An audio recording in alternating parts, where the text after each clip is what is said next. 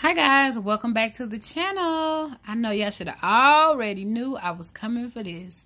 This is a What's on My Nail special edition. Super Bowl, baby! But anyway, so, so y'all, look at my nails. Y'all know I had to do it. So on this finger, it's just like a two-tone ombre. Come on, camera, act right with me. Two-tone ombre with like the little um, decal on here just um, marbled in here as well as this. Something really simple and really quick. Yeah i'm filming with a different camera and i really don't like its focus and stuff like that. It's not like the other one. But anyway y'all this is what we're working on my nails for like the next week or so.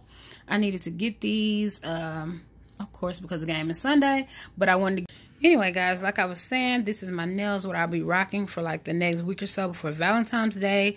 And then they'll be longer and we're going into something different. And I'm excited and can't wait for that set. But here they are. Thanks for watching and go Chiefs. Bye.